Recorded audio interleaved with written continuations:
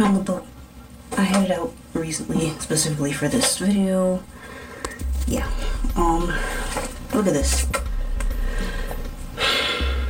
This is a book I wrote when I was about maybe 11, 12 years old. I don't remember. Somewhere around that time. What do we call heaven and hell? Because for those of you who know me, I'm a writer. I've always written books as a child. I wrote little paper books, all kind of stuff. And yeah. I remember a home about going to hell. It's raining outside and God is safe and dry. That is odd. I don't know why I wrote that, but whatever. Look at this. Why'd you say God's name in vain? Now go out in the pouring rain. And look at what I drew. See, of course, my mom, like other Christians, had this big thing. Don't say God's name in vain. Don't say, oh God, or oh my God, or anything of the sort. Y'all know what I'm talking about. I was deathly afraid of saying something like that. Because I was taught that if I say God's name in vain, hell was where I was going to be living. So I wrote a book about it. I was, this, this is, it's not cute, y'all. This is, this is paranoia for a child to go through. God's frowning at you more than that. He's sending you to hell. That is that. So the mom takes the boy and she leads him to the doors of hell, I guess. I don't know what stuff was in my mind, but y'all, this is literally my fear coming out on paper. You see this shit? Don't say so because he's right and it won't be a pleasant sight. So the mom is kicking her own son out because he said God's name in vain and apparently he doesn't deserve to fucking live.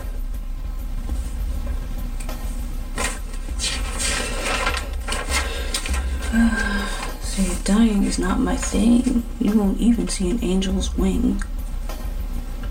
So that means he's gonna be in hell and dead, and no angel's gonna save him.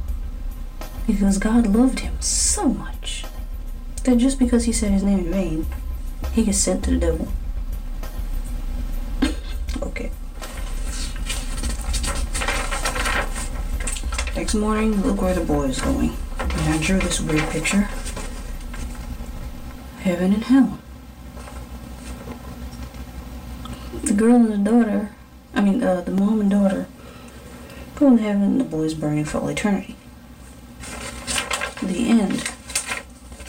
Alright, now, that wasn't that a cozy, that was a cozy little story, wasn't it, y'all? Tell me, tell me, that, that was something. As you can see, my name, I wrote my name on here.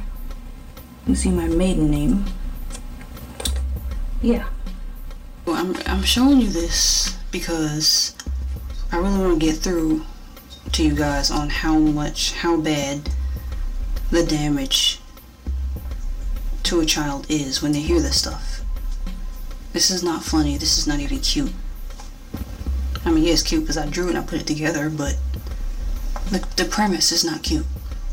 I have seen other people online come forth with stories like this or you know similar situations where they were spiritually abused so bad they were shaking in their boots for their life every day.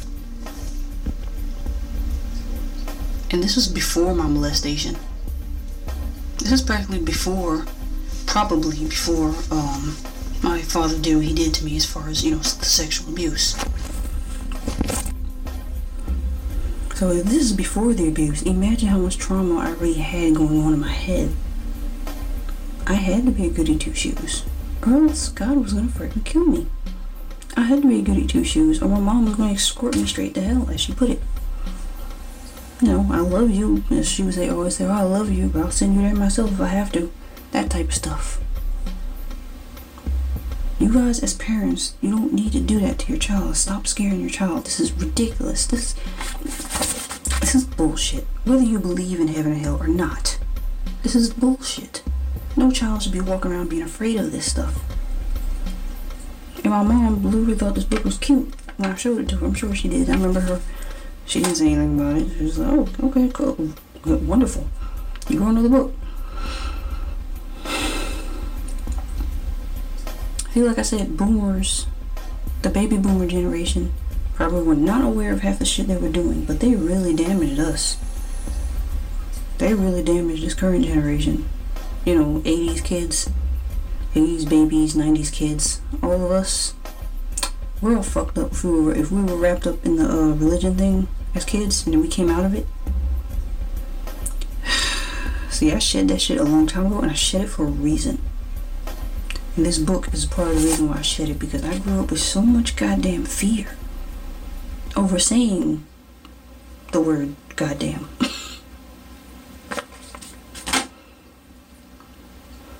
I grew up with so much fear that God didn't love me enough to give me a second chance, even after I obeyed Him. I mean, disobeyed Him. Oh, yeah, everyone sins every now and then, but, you know, still, what's hell for? If it was just as easy as you repent and pray and get it taken off you, what's the point of hell? What's the point of hell existing? See, as a child, you were putting these stories into your head. You are patronizing your child over the creator that you believe in. And if you believe in a creator that's going to send you to hell, that you believe is truly going to send you to a fiery pit, truly going to send your child to a fiery pit, then I'm telling you, you're following following the wrong cult. I'm just being honest. I mean, that's, I'm just being freaking honest here. Like, you're following the wrong thing. And I say cult because it is a cult. I don't care. They're all cults. The Christians, the Muslims, the Jehovah's Witnesses, the Seventh day Adventists, the Baptist, Pentecostal, I don't care what you call yourself. Even the freaking Hebrews, the Israelite Hebrews. That I've come across a good amount of those, and they are just as brainwashed as the Christians that they make fun of. Come on, you guys are not really that different. There's not really much differences within these factions. Yet everybody fights and fusses, and in the result, everybody saying, "No, you're going to hell. No, you're going to hell. You need to follow this, follow that, follow this, follow that." And people just fighting each other for no reason, for y'all to all supposedly end up in hell. What is the point? Don't get your child wrapped up in that bullshit, cause it really messed me up, y'all. And I was already a really good kid. I was a really good kid in the first place. I didn't get into trouble. I, I, I was never a troublemaker. Religion came along, y'all, and it messed me up. It messed me up psychologically. Then I thought I had to be more good.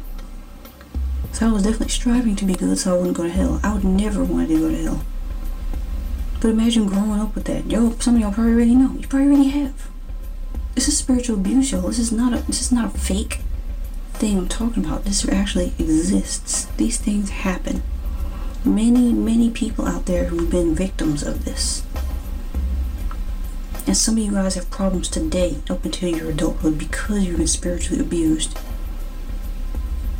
Yeah, it might have been physical, but guess what? Not all abuse is physical, you know?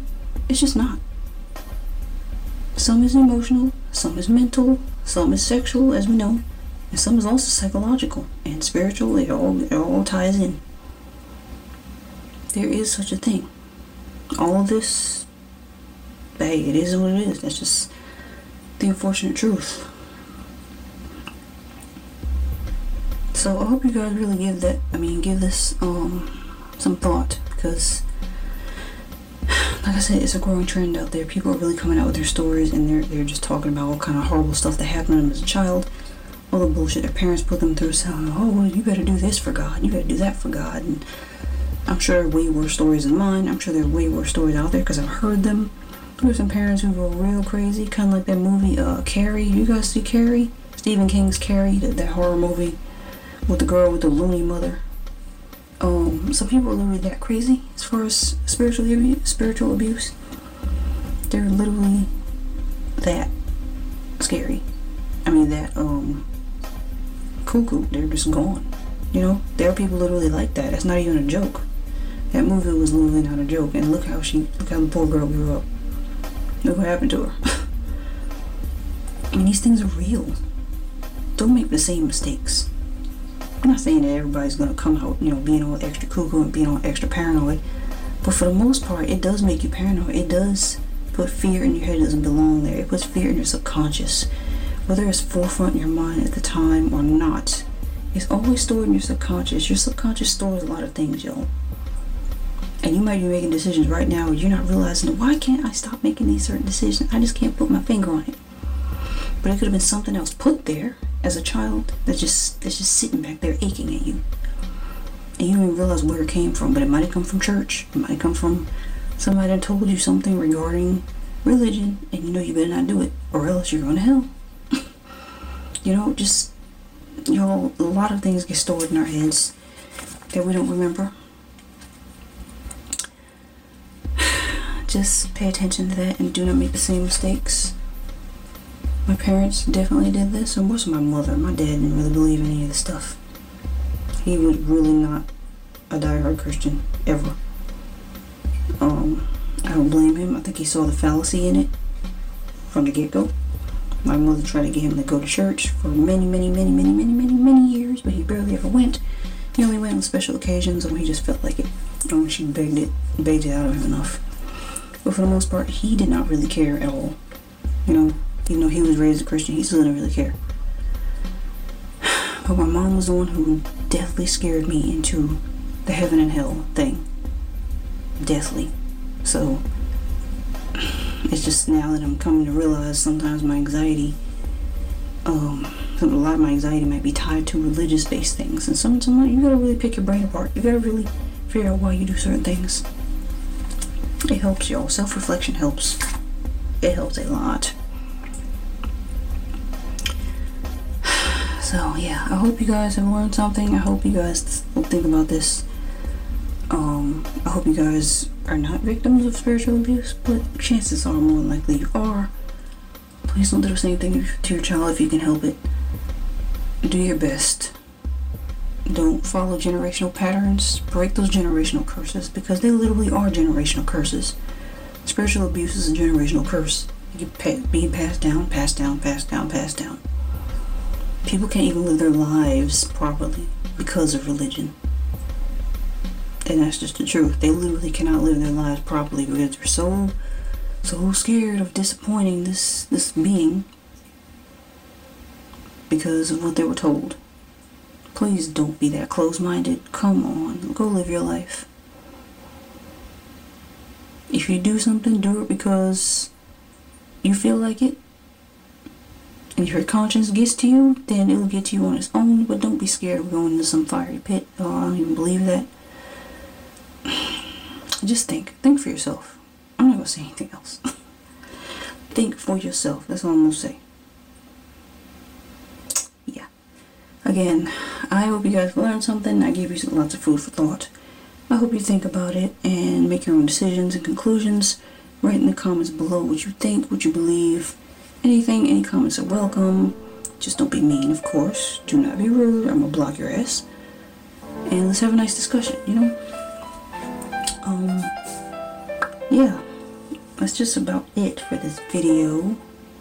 Hope you guys enjoyed this video. Hope you're having a great day, second hour, month, minute, and